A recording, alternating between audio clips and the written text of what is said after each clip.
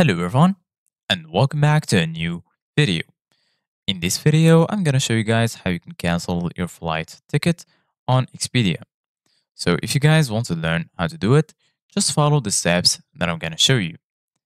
As you can see guys, I'm right now in Expedia and this is how the homepage looks like. So right here in the top, you're gonna find all of these sections.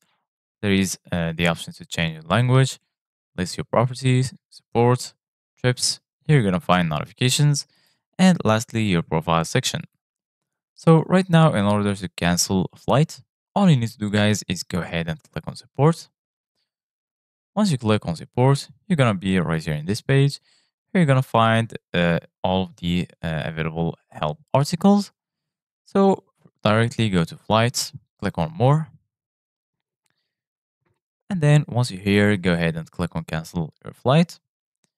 And as you can see, guys, this is the article talking about it. Change of plan, no problem. We're here to help make things as easy as possible. Convincingly, you can cancel most flights online, including flights booked with points. Before you cancel, be sure to review the airline rules and restrictions in your itinerary to see what the airline will let you do and what fees they charge for flight cancellation. So right now I'm going to show you guys how you can cancel your flights. It's pretty simple. Firstly, just go to trips. After you go to trips, select cancel flight and follow the instructions and you're done.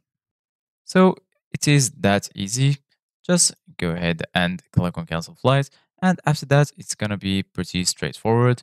Just follow the instructions and then you're good to go. So this is it guys for today's video. Thank you guys for watching. See you guys in the next video.